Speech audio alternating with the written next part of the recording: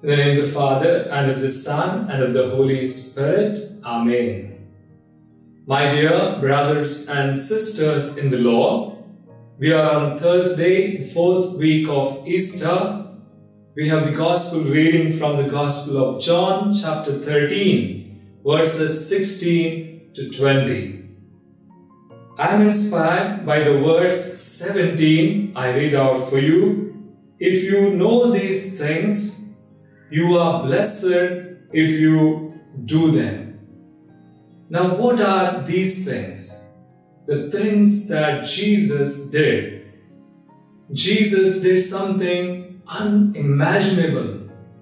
He wanted his apostles to be like him, the Master. Therefore, he washed the feet of the apostles. Now, Jesus knew that if he does not wash their feet, they cannot be freed from the spirit of bondage which comes from fear. Unless they have the spirit of adoption to call the Father as Abba Father, they cannot be like Him, the Master, and they cannot do the things that Jesus did. So Jesus washed their feet on during Last Supper and on Good Friday, he washed them with his very blood. My dear brothers and sisters, Jesus wants you and me also to be like him and to do the very things he did. And he empowers us. He frees us from the spirit of bondage, of sin, and he gives us the spirit of adoption.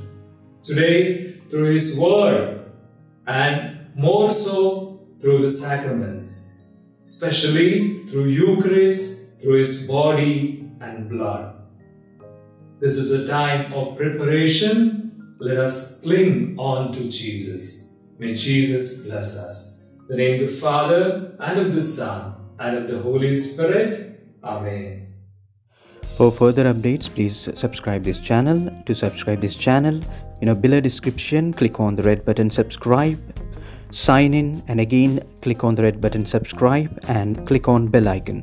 Like comment share. Thank you